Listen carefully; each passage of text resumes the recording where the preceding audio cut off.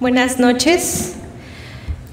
compañeras parlamentarias, un abrazo sororal a cada una de ustedes.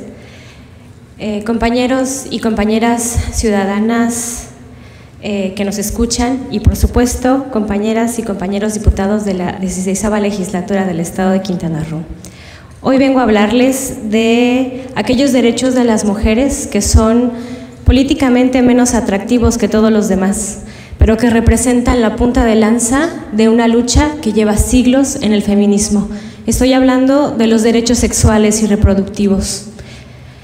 Hablar de derechos humanos implica el reconocimiento y el respeto de la libertad, igualdad y dignidad inherentes de las personas, sin ningún tipo de discriminación, tanto en los espacios públicos como privados. Todos los derechos deben ser respetados sin producir división entre ellos y su garantía es obligatoria, exista o no una ley en el país específica al respecto. Uno de los aspectos que suele ser tabú es entender la sexualidad no como una dimensión fundamental, sino como algo que es sucio, que debe em, esconderse. Sin embargo, la sexualidad es algo natural que existe y se manifiesta a lo largo de toda la vida, desde la niñez hasta la tercera edad. Desde la Comisión Interamericana de los Derechos Humanos se establece que los derechos sexuales y reproductivos están basados en los derechos fundamentales e implican el derecho de todas las personas a la autonomía de su propio cuerpo, a la información, a la educación de la sexualidad, a expresar libremente su orientación sexual, a decidir cuántos hijos e hijas tener, al placer sexual, a decidir ser madres o no, a decidir tener o no relaciones sexuales, a estar libres de discriminación o violencia a nivel estatal, aunque dentro de la ley de acceso a una vida libre de violencia para las mujeres se establece que hay una tipificación de la violencia a los derechos reproductivos, la ausencia de mecanismos que garanticen los derechos sexuales y reproductivos desencadena y exacerba diferentes problemáticas de las cuales yo en mi trabajo me topo todos los días. Problemas además que ha vivido mi generación, la generación anterior y la generación de mi abuela la cual me inspira hoy a hablarla ante ustedes hoy. Em, varios de estos problemas son que seguimos en una educación integral de la sexualidad que permita un cambio cultural hacia la igualdad,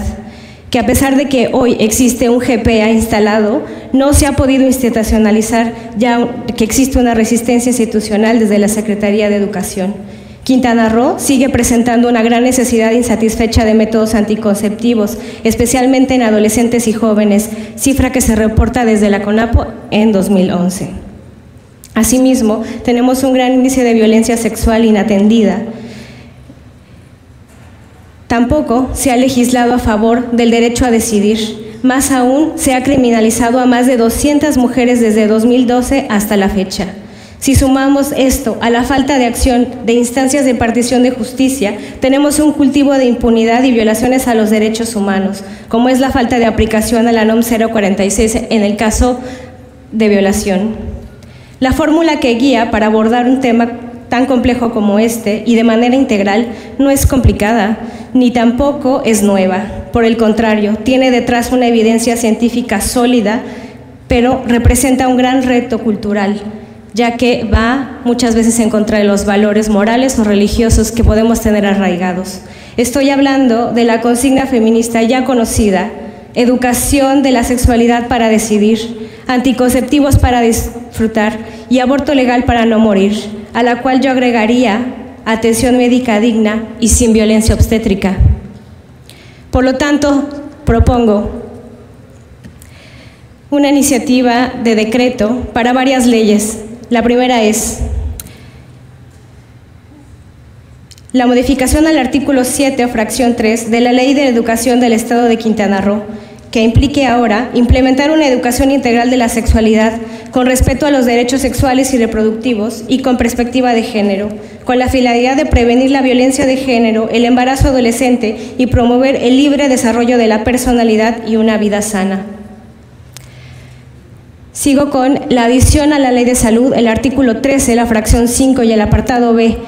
que brinde atención médica de calidad, y de, calidad de urgencia a las víctimas de violencia sexual acorde a lo establecido ya en la NOM 046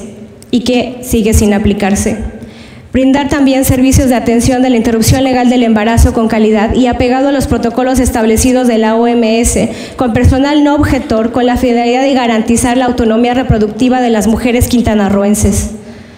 La modificación del Código Penal en su artículo 92 para que, para efectos de este código, el aborto es la interrupción del embarazo después de la décima segunda semana de gestación, como ya lo establece la iniciativa de la diputada Ana Pamplona. Eliminando el requisito, además, eh,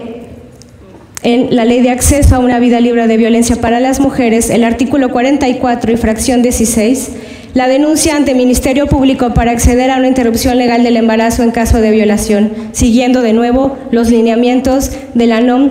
046. En Quintana Roo es fundamental ser congruentes y no utilizar a las mujeres solo como un eslogan o una parte morada. Si nos vamos a sumar, sumémonos con todos los derechos. Debemos de garantizar todos los derechos a todas las mujeres, porque en Quintana Roo nos queremos libres, nos queremos vivas y con el derecho a decidir.